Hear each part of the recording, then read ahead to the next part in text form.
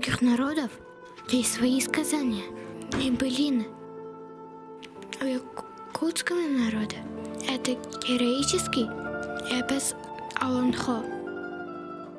У русского народа это былины, героическо-исторические песни, которые рассказывают о великих, могущих защитников родной земли.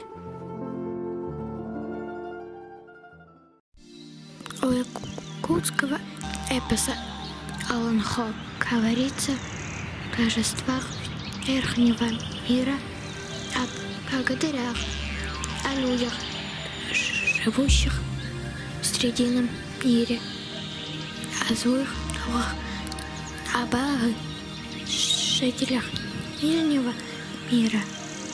Злые духи похищали девушек, их защиту бросались богатыри срединного мира, а добро побеждало зло.